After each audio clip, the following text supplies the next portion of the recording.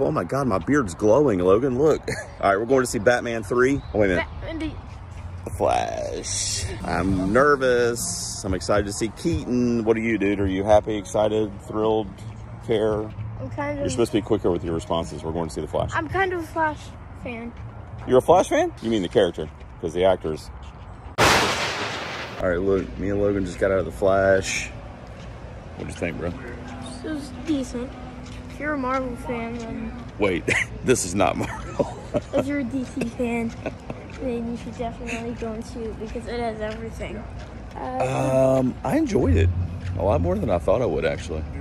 I mean, the Batman part wasn't really my favorite, but Oh, come on, man. Keaton back in the bat suit. Supergirl stole the show, I thought. No, I she liked- was maybe liked- my favorite part.